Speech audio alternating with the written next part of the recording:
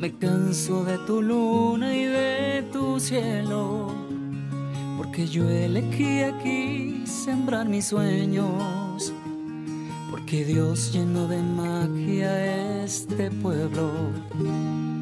Voy de este cipote entre la hierba, en mi sangre llevo todos tus paisajes. Como no he de amar tu belleza? Como el toro voz yo te canto hoy con fuerza. Como el Salvador muy dos bendita tierra, con tus playas paraísos de sirenas. Si me fuera un día de vos, tal vez muriera. Río Lempa recorriéndome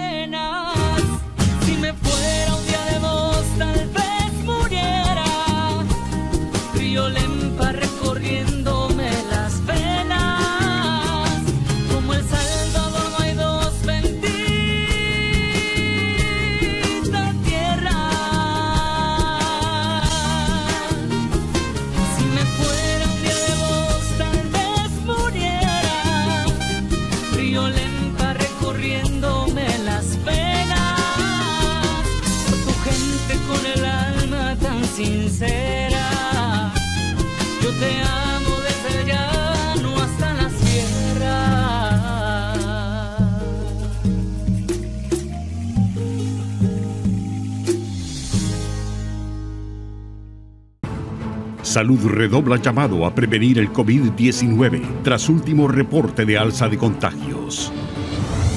El mundo registró más de 93 millones de contagios de coronavirus y la ONU prevé más de 100.000 muertes por semana. Economía nacional recuperó niveles previos a la pandemia de acuerdo a cálculos del Banco Central de Reserva. Presidente Bukele otorga el máximo galardón al embajador de los Estados Unidos por su servicio al país. Persiste polémica sobre logros y deudas de los acuerdos de paz, así como del legado de sus protagonistas. El Ministerio de Salud reporta 330 nuevos casos de COVID-19, lo que suma hasta la fecha 55.437 casos confirmados en el país, de los cuales 48.142 son locales y 117 importados y 3.178 se encuentran en la categoría de importados varados. 522 personas se encuentran graves y 115 en estado crítico. Lamentablemente, en las últimas horas se reporta la muerte de 11 salvadoreños producto de este virus. Contrario a esos datos, 226 personas han superado la enfermedad en el último día, gracias a la atención de médicos, er- enfermeras y auxiliares en los diferentes hospitales especializados a nivel nacional. El MinSal, por su parte, continúa con los tamizajes masivos para evitar más contagios. Hasta ayer se contabilizaban 665.341 pruebas PCR realizadas completamente gratuitas a la población salvadoreña.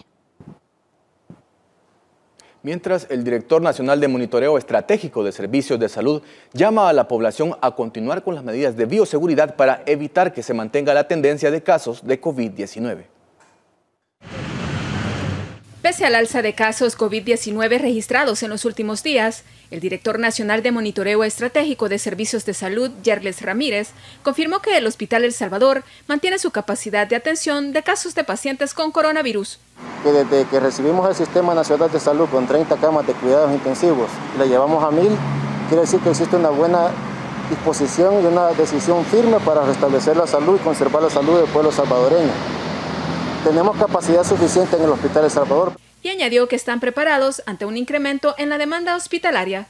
Si colapsase el, el Hospital El Salvador, cosa que sería muy difícil, pues cada una de estas unidades, cada uno de estos equiparios, cada uno de estos sistemas de hospitalización entran a, a reforzar al sistema nacional de salud. También el Seguro Social tiene la capacidad instalada propia. Respecto al tema de la aplicación de vacunas anti-COVID-19, confirmó que el gobierno cuenta con un plan contingencial específico para garantizar la aplicación de las dosis necesarias para su efectividad.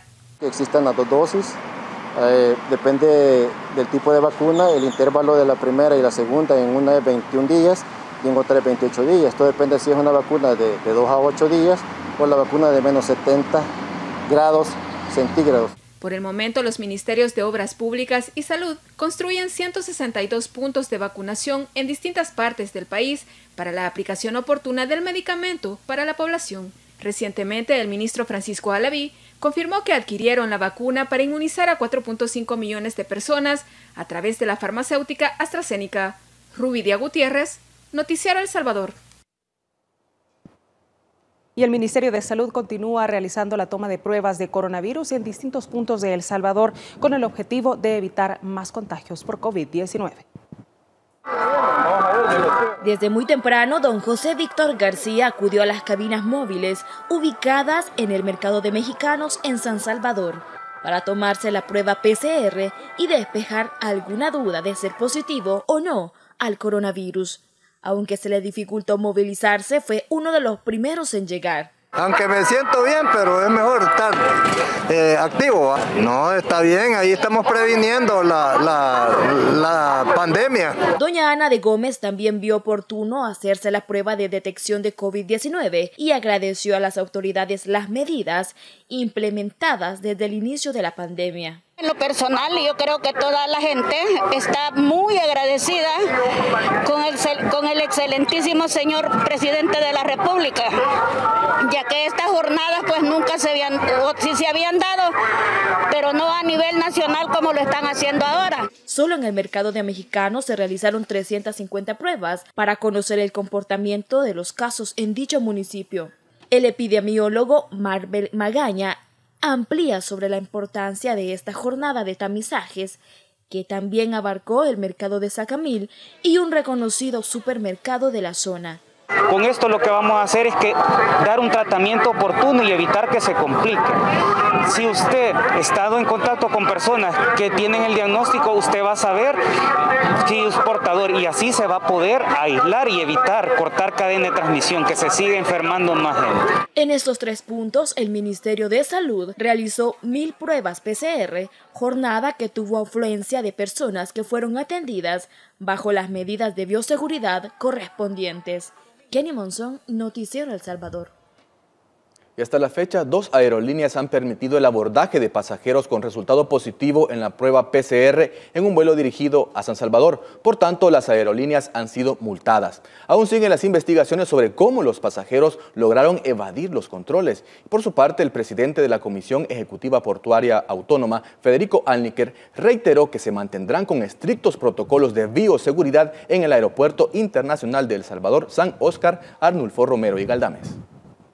Estamos sin bajar la guardia. Recordemos que ahorita estamos en un, un punto de pico, que, que, hay cierto repunte del COVID-19, así que nosotros como CEPA y como parte de esa mesa de salud que estamos nosotros, estamos eh, aportando todas las medidas necesarias. Y en medio de la atención de la pandemia también se realizan supervisiones para evitar más contagios, como es el caso del sector educativo privado, que ya inició las clases virtuales, acatando las disposiciones del Ministerio de Educación y también del Ministerio de Salud. Nuestros planes para el año 2021 era comenzar una educación en forma semipresencial. Esa era una de las grandes expectativas que tenía el Ministerio de Educación, pero tras recibir la recomendación por parte del Ministerio de Salud, se decidió posponerlas y llevarlas a cabo temporalmente de manera virtual. La titular del ramo mencionó que debido a lo atípico de este año lectivo, más de 900 estudiantes del sector privado están migrando a los centros educativos públicos. El hecho de la migración de los alumnos del sector privado al público, para nosotros no es una alegría. Al sector privado le representa aumentar recursos que probablemente no tengamos en lo inmediato. De igual forma, reiteró que por ningún motivo los colegios deben aumentar las cuotas y obligar a los padres de familia a la adquisición de libros y uniformes. Hasta el viernes de la semana pasada teníamos más de 600 denuncias en total, dentro de las cuatro más de 50 eran sobre aumentos de cuotas. El Ministerio de Educación pondrá a disposición de ambos sectores plataformas digitales para recibir las clases en medio de la pandemia. Las guías de clases, de igual forma, serán compartidas. A estas alturas las guías se han modificado muchísimo. No me puedo poner yo aquí a darle detalle en qué se han modificado, pero sí hemos mejorado la calidad de la primera guía que teníamos y vamos a seguir haciendo ese análisis. Dentro de esos 50 especialistas tenemos pedagogos. Asimismo, afirmó que las clases virtuales para el sector público se mantienen para el próximo 1 de febrero y que inicialmente los estudiantes tendrán que someterse a una prueba psicológica. Ana Yancy Ábrego, Noticiero El Salvador. Y como parte del programa de emergencia sanitaria, el gobierno intentó entregar ayuda alimentaria a empleados de la alcaldía de Santa Tecla, pero no fue permitido por representantes de la comuna. A pesar de esto, la ayuda llegó a quienes la necesitan. Alegaron que no se podía interrumpir la jornada laboral y que los empleados no recibirían la ayuda. La negativa fue ordenada por el alcalde de Santa Tecla, Roberto Davison, y trasladada por representantes de la comuna.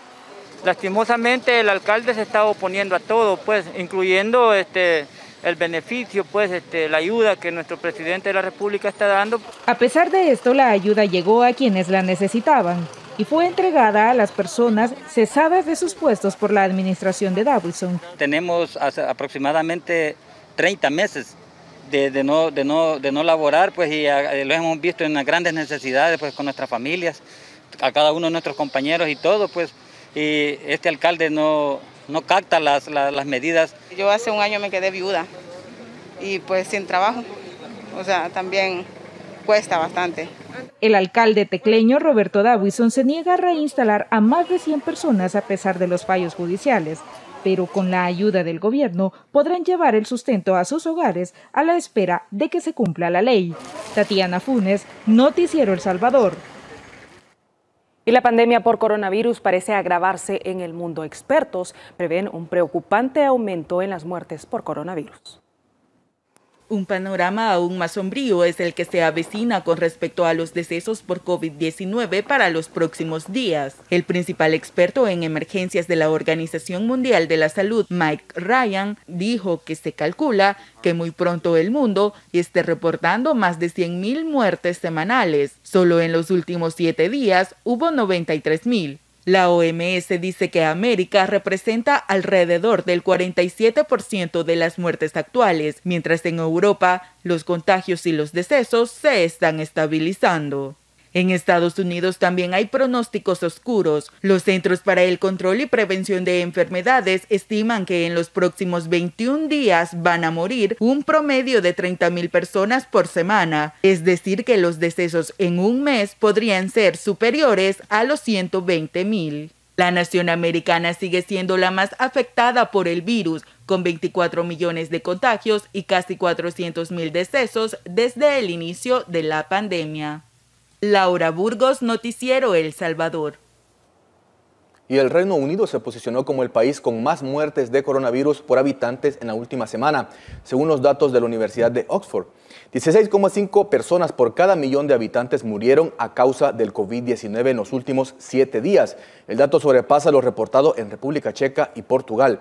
Reino Unido registró en la última jornada 599 nuevos decesos y 37.535 nuevas infecciones. Italia reportó 8.824 nuevos contagios de coronavirus y 377 fallecidos en 24 horas. Pese a que las cifras son altas, representan el menor aumento en 20 días. Las autoridades informaron que durante el fin de semana se realizaron 158 mil test. En Italia, más de 2 millones de personas han contraído el virus desde febrero del año pasado, mientras las víctimas mortales ascienden a 82 mil. En Panamá, la crisis sanitaria obligó al gobierno a habilitar un hospital inconcluso para atender a pacientes de COVID-19. Según el presidente Laurentino Cortizo, en el lugar hay 300 camas, 85 de ellas son para unidades de cuidados intensivos. La infraestructura estaba siendo construida por una empresa del mexicano Carlos Slim, pero está envuelta en un caso de presunta corrupción, por lo que las obras fueron detenidas en el año 2015. Y en nuestra región, las naciones de Centroamérica y República Dominicana continúan con una eh, tendencia al alza de casos de COVID-19. Según la Organización Panamericana de la Salud, la región experimenta una transmisión comunitaria intensa y sostenida del coronavirus.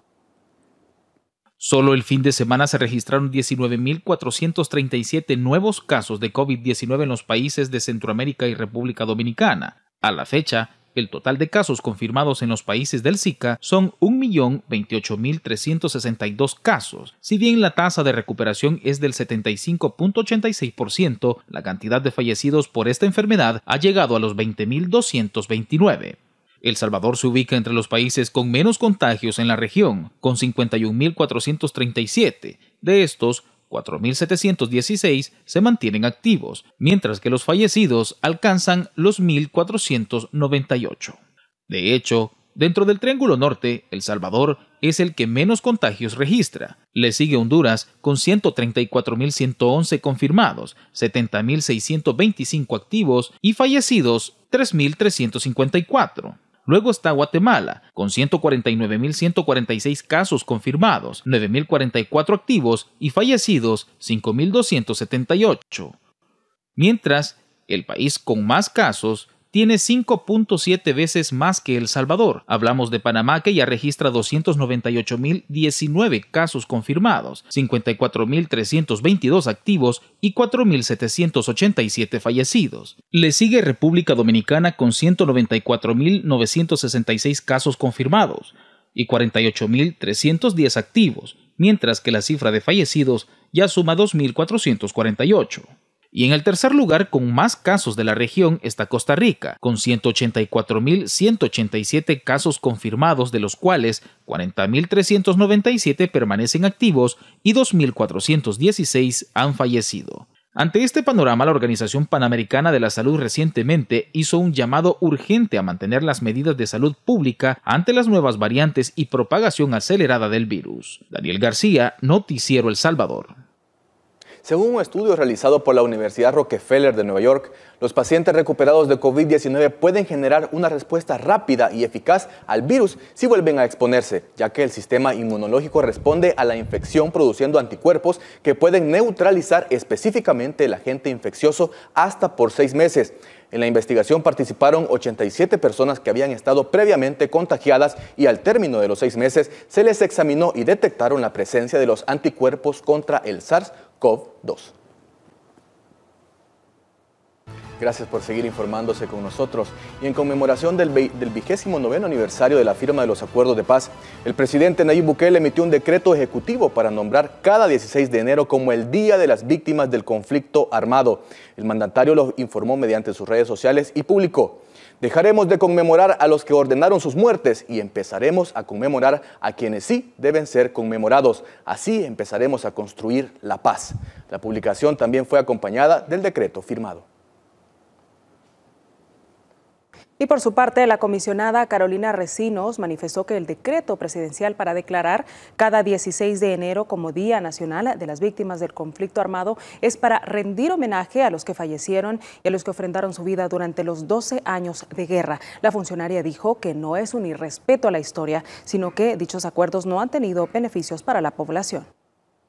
Carolina Recinos dijo que lo único que se ha cumplido de los acuerdos de paz fue la incorporación del FMLN a la vida política y que en nada ha traído beneficio para los salvadoreños. Que entre ellos, Arena y el Frente, que gobernaron durante 30 años, hicieran acuerdos que no fueron de beneficio para la población. Y si no, eh, hay que ver cuánta migración durante estos años, cuánto derramamiento de sangre durante estos años. La declaratoria del Día Nacional de las Víctimas del Conflicto Armado es con el fin de reconocer a aquellas personas que ofrendaron su vida y brindar mayores oportunidades a la población. Mientras estos dos partidos hacían sus arreglos, hacían sus celebraciones, como que si los acuerdos de paz fuera una fecha y no fuera una, una obligación de todos y de cada uno, convertirlos en una verdadera plataforma de paz. El presidente de la República, Nayib Bukele, por decreto ejecutivo, declaró el 16 de enero el Día Nacional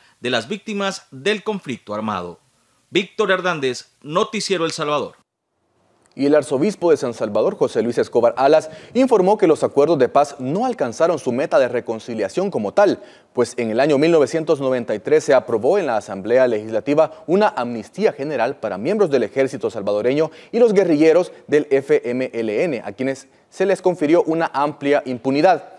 El líder católico agregó que la firma de los acuerdos de paz establece una serie de medidas más allá del cese al fuego y el inicio de la pacificación. Las víctimas han sido defraudadas.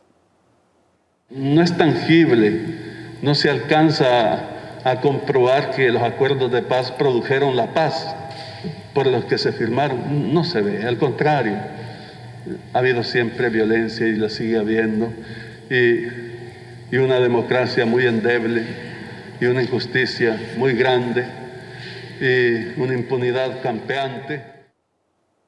Y las mismas personas que han defendido y que estuvieron involucradas con la negociación política de 1992 hoy vienen a recordar este acto en el cual no han podido esconder que realmente existe una deuda histórica con la población a 29 años de esa firma, donde un grupo económico en el poder abrió un espacio para repartirse las instituciones del Estado salvadoreño. Desde la comodidad de este salón, diputados de oposición conmemoraban los 29 años de la tan anhelada paz y desde el evento se hacía una curiosa reflexión. Una desintegración de la familia. Esa es una realidad que, hemos vivido y estamos viviendo los, salvadoreños.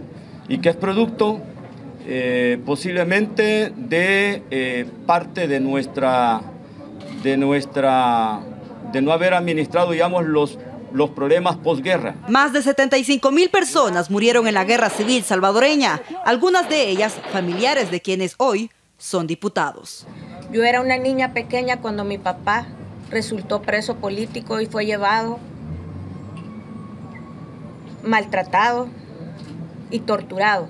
Mi hermano, mi hermano mayor, obviamente, falleció en esos acuerdos de paz. Alfredo Cristiani, el presidente de aquella época, deja claro el panorama de lo que se negoció y se firmó en los acuerdos de paz. Eh, se trató de generar los espacios políticos para que todo el mundo pudiera participar, eh, respetando las libertades de todo el mundo y las diferentes formas de pensar. Se negociaba una inclusión política entonces.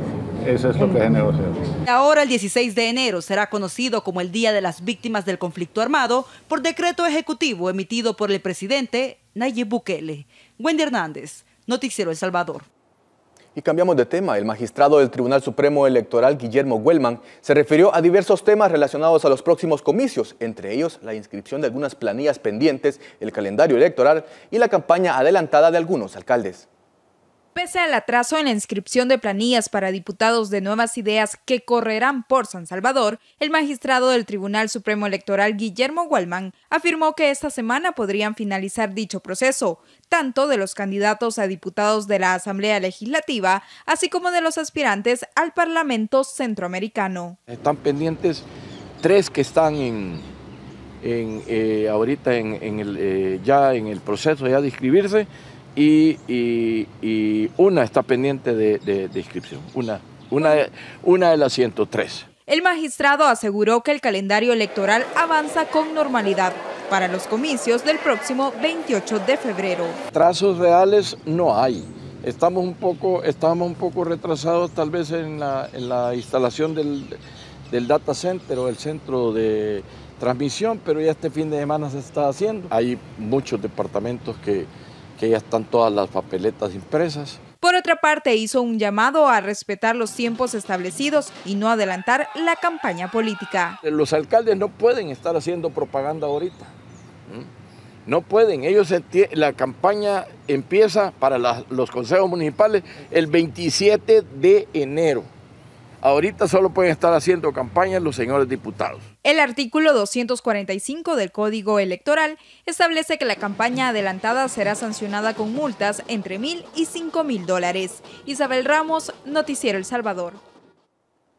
Hoy inició la segunda semana consecutiva de la huelga de brazos caídos de los trabajadores de la alcaldía de San Salvador. Ellos aseguran que hasta el momento no han obtenido un acercamiento con el edil Ernesto Mason. Yo llevaba todo para mis hijos, pa, y entonces este, ahora que me he quedado sin trabajo no tengo ayuda de nadie. Aide de Paredes es una de los más de 500 trabajadores despedidos de la alcaldía de San Salvador, a quienes no les dieron mayor justificación del cese de sus labores. A mí en, hoy en enero, el 5 de enero, ya tenía la carta de despido yo ya. Y nos hizo trabajar y no los pagó los días completos que trabajamos todo lo que era diciembre nos hizo trabajar. Eso quedó perdido, no lo dio la canasta, nada. El incumplimiento en el pago de las retenciones laborales por parte del alcalde capitalino también ha puesto en una situación legal complicada a los empleados municipales, pese a que las cuotas les fueron descontadas mes a mes durante un año. Que están queriendo embargar nuestras viviendas y es lo cual nosotros le estamos pidiendo encarecidamente al señor alcalde municipal que por lo menos las retenciones legales las haga a los trabajadores. Ya no podemos llevar a nuestros hijos a sus controles eh, eh, al seguro social, porque cuando vamos lo que nos dicen es que la alcaldía no ha pagado la planilla. Ernesto Mason estaría adeudando más de 6 millones de dólares en concepto de seguro y AFP, acumulado durante 12 meses está golpeando a no menos de 5 mil trabajadores con esas retenciones que no las paga. No estamos pidiendo ni exigiendo lo que no esté en sus posibilidades de resolver. Los empleados además piden que no sea privatizada la unidad de desechos sólidos, pues esto ocasionaría muchos más despidos. La huelga se mantendrá por un periodo indefinido hasta lograr un acuerdo. Isabel Ramos, Noticiero El Salvador con la puesta en marcha del Plan Control Territorial, que continúa arrojando excelentes resultados. Es el caso en ocho municipios del área metropolitana de San Salvador. La baja en el índice de criminalidad que se registra en todo el territorio nacional es el resultado del Plan Control Territorial impulsado por el gobierno del presidente Nayib Bukele desde el 20 de junio de 2019. Los excelentes resultados continúan en 2021. El 57% de los municipios del área metropolitana de San Salvador no tiene reporte de homicidios en los primeros 13 días de enero, según detallan las estadísticas de la Policía Nacional Civil. Esto se refleja en 8 de los 14 municipios, Antiguo Cuscatlán, Ayutuxtepeque, Soyapango, Ilopango, San Martín, San Marcos, Tonacatepeque y Nejapa, los últimos seis fueron considerados históricamente como municipios asediados por la delincuencia. Durante muchos años, las familias residentes vivieron bajo el temor de las pandillas. En los primeros 13 días de enero sumaron cinco las muertes violentas, debajo de las siete contabilizadas en el mismo periodo, pero del 2020 Además, según autoridades policiales, en el transcurso de ocho días continuos, en la misma jurisdicción no ocurrieron asesinatos. Kenny Monzón, Noticiero El Salvador. Gracias por continuar informándose con Noticiero El Salvador. Vamos con noticias fuera de nuestras fronteras. Este miércoles, el presidente electo Joe Biden asume la presidencia de los Estados Unidos y el gobierno del presidente Nayib Bukele continuará buscando acuerdos para los temas prioritarios entre ambos países. Así lo confirmó la comisionada Carolina Recinos, quien dijo que tienen buenas expectativas. La funcionaria señaló que desde ya buscarán soluciones en la agenda migratoria, combate al narcotráfico y generación de empleos. Vamos a seguir trabajando por fortalecer esa relación entre estados. Nosotros vemos en Estados Unidos y en el gobierno de los Estados Unidos un socio confiable, así que vamos a seguir trabajando para que estos dos países, estos dos pueblos hermanos sigan consolidando su relación. Y en Información Nacional tenemos buenas noticias y es que el Banco Central de Reserva dio a conocer que la economía salvadoreña experimentó una mejoría al cierre del año pasado, luego del duro impacto a escala mundial provocado por el COVID-19. Las medidas adoptadas en el país para aliviar el impacto del COVID-19 permitieron que la economía salvadoreña se recuperara al cierre del 2020 el Banco Central de Reserva reveló que en el último semestre del año pasado, la dinámica económica fue mejor a los meses de la emergencia por el coronavirus. Vimos que los impactos se fueron reflejados en el primer y en el segundo trimestre del año. Sin embargo, en el tercer y el cuarto trimestre observamos una recuperación gradual de la economía nacional. Sin embargo, el comportamiento de la economía podría ser mejor si desde la Asamblea Legislativa hubiese mayor apoyo a las políticas del gobierno. Esto podría cambiar con las elecciones del 28 de febrero, pues el gobierno tendría mayor gobernabilidad para implementar las medidas adecuadas. Los niveles de producción podrían recuperarse en el 2022 o antes, dependiendo de todas las medidas que tome el presidente Nayib Bukele, que será muy importante cuando él tenga la Asamblea Legislativa contribuyendo a aportar más medidas económicas que contribuyan. De acuerdo con el BCR, la mejoría en la situación económica del país también es resultado de la reactivación del comercio a escala internacional. Las exportaciones sumaron 5.030.1 millones de dólares y alcanzaron cifras récord en el mes de diciembre. Registraron su primer variación positiva en el mes de diciembre. Podemos notar que, o hacemos destacar que la variación de diciembre de 2020 fue de 20.4%, que fue la primera que se registró en el año pasado. La expectativa para el 2021 es que la economía supere la crisis provocada por el COVID-19. Por ello, algunas instituciones consideran que el país lideraría las proyecciones de crecimiento en la región. Salomón Rugamas, Noticiero El Salvador. Y este 2021 el gobierno, a través de la Comisión Ejecutiva Portuaria Autónoma, iniciará grandes proyectos que permitirán el desarrollo no solo de la zona oriental de nuestro país, sino que de todo El Salvador. Según lo afirmado por el presidente de la Autónoma, Federico Anliker, los consorcios españoles, Peico Alben 4000, que ganaron el proceso de licitación, tienen 300 días calendario para entregar cinco estudios de factibilidad del aeropuerto del Pacífico. Esto ya da el inicio, ya oficialmente, pues, de este proyecto para que tengamos ya todos los estudios en un solo proceso, en aras del tiempo y para poder avanzar, para que ya en enero del 2022 recibir estos estudios y paralelamente ir ya con el proceso de la construcción en la zona oriental. Otro de los grandes proyectos emblemáticos que realizará el gobierno del presidente Bukele a través de CEPA es el tren del Pacífico, entre el puerto noroeste de Acajutla y el puerto sur de la Unión, con una ruta que cruce todo San Salvador, para lo cual el Banco Centroamericano de Integración Económica ha brindado una ayuda monetaria a nuestro país. Hace poco ya el Banco Centroamericano de Integración Económica eh, nos va a dar una ayuda de 450 mil dólares también para el inicio del proceso de proyectos de, los proyectos para factibilidad del, del tren del Pacífico. Además, El Salvador muy pronto contará con un ferry multimodal entre Costa Rica, con esta ruta se prevé agilizar el intercambio de las importaciones y exportaciones entre ambos países. Costa Rica estamos esperando que nos pase su pliego tarifario que lo están creando para ya nosotros incorporarlo al nuestro y ya comenzar a operar eh, operaciones ya a corto plazo. La infraestructura es uno de los pilares fundamentales de este gobierno, que pretende no solo modernizar, sino que con ello crear un polo de desarrollo, específicamente en la zona oriental de El Salvador, sitio que fue olvidado por los gobiernos de Arena y el FMLN. Ana Yancy Abrego, Noticiero El Salvador. El presidente del Instituto Nacional de los Deportes, Yamil Bukele, y el director de centros penales, Osiris Luna, visitaron el centro penitenciario La Esperanza, mejor conocido como Mariona, para verificar el trabajo que realizan los internos del Plan Cero Ocio en la confección de uniformes deportivos. más. Este es el penal La Esperanza, o conocido como Mariona. Al interior de este recinto, los internos realizan diversidad de actividades como parte del plan Cero Ocio. La elaboración de uniformes para el INDES es una de las acciones que mantiene distraídos a los privados de libertad. Son más de 22 mil piezas de indumentaria deportiva que deben elaborar. Solo en la concepción de uniforme, como lo mencioné anteriormente, son 22 mil piezas son dos sets de uniformes que llevan no solamente el de los jugadores y jugadoras, sino el del tortero, el de los entrenadores. Yamil Bukele dijo que con el apoyo de la Dirección de Centros Penales se está ahorrando más de un millón de dólares.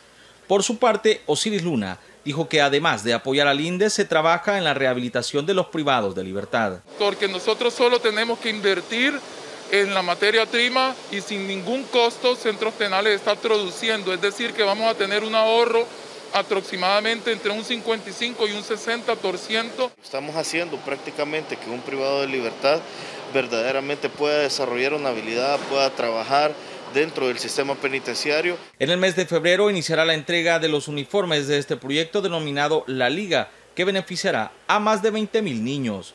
Víctor Hernández, Noticiero El Salvador. Y el ministro de Justicia y Seguridad, Rogelio Rivas, juramentó como nuevos salvadoreños a un grupo de personas originarias de diversos países que se sometieron a un proceso durante varios meses. Desde hoy se convierten en salvadoreños 32 personas originarias de varios países, entre ellos venezolanos, cubanos, colombianos, taiwaneses y hasta dos estadounidenses. Todos tuvieron que pasar un proceso documental migratorio de más de un año.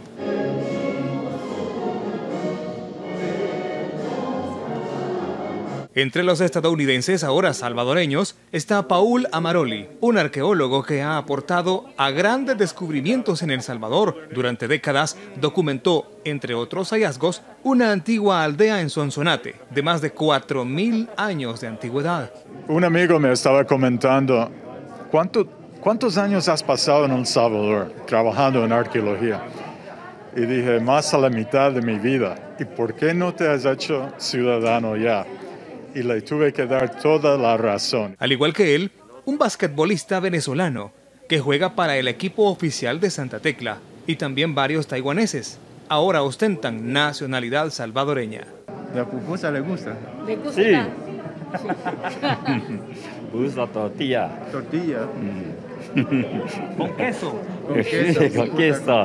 Con frijol también. Dentro de los próximos meses habrá una nueva juramentación como esta de extranjeros que decidieron adoptar voluntariamente nuestra nacionalidad.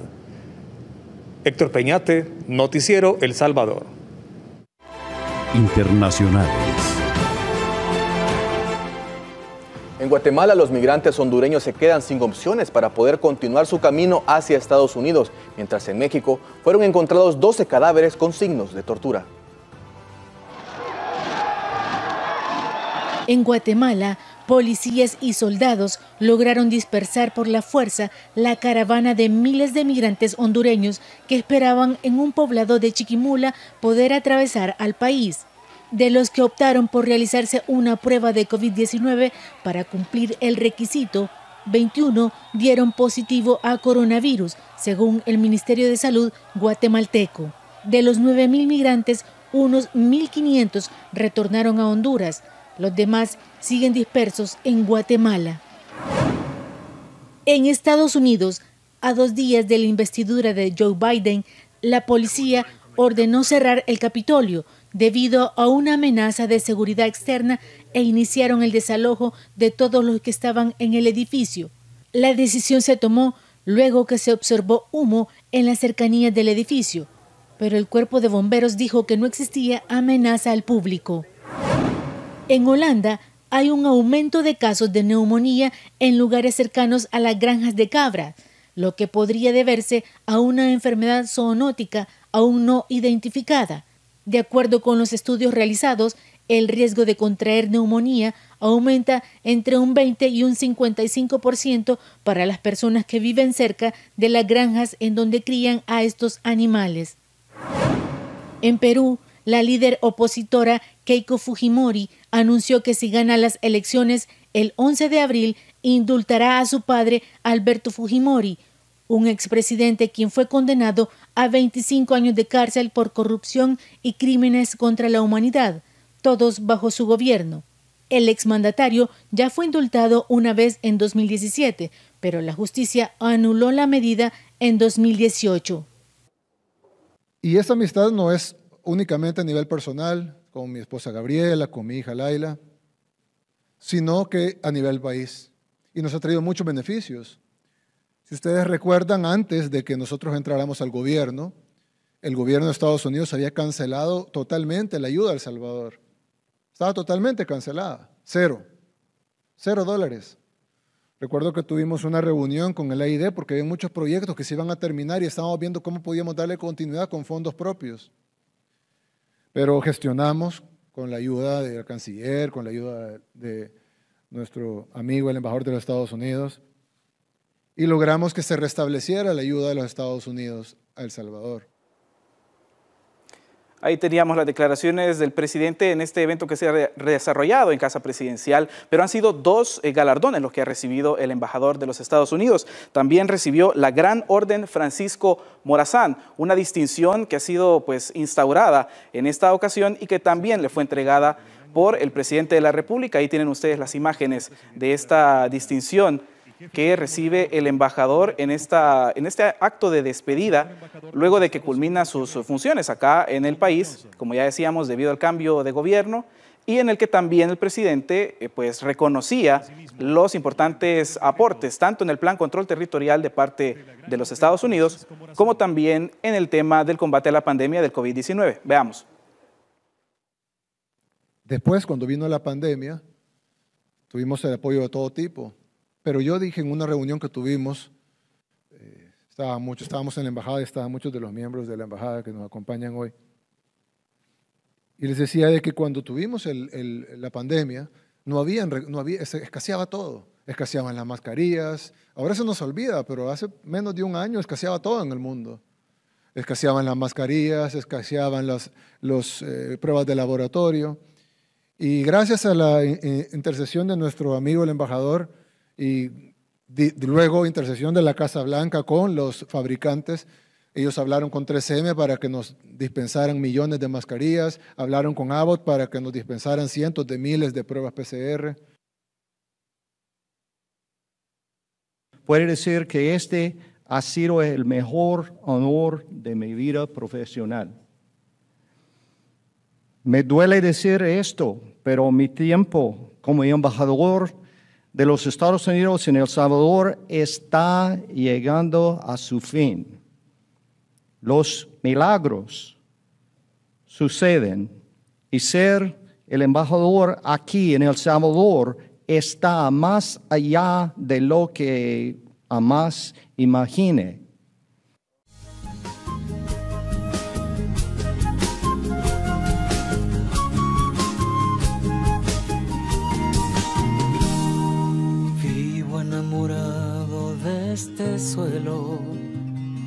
Me canso de tu luna y de tu cielo, porque yo elegí aquí sembrar mis sueños, porque Dios llenó de magia este pueblo.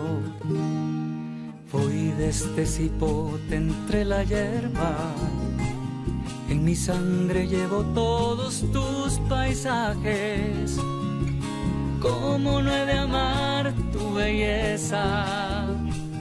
Como el toro voz yo te canto y con fuerza. Como el Salvador muy dos bendita tierra, con tus playas paraísos de sirenas. Si me fuera un día de vos, tal vez muriera. Río Lempa recorriéndome las venas. Esta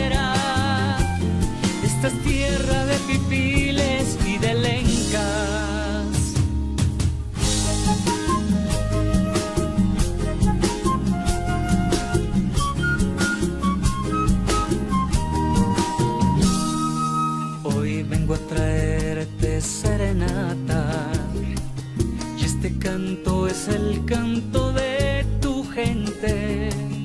Agradezco mis raíces y mis alas. Agradezco haber nacido de tu vientre.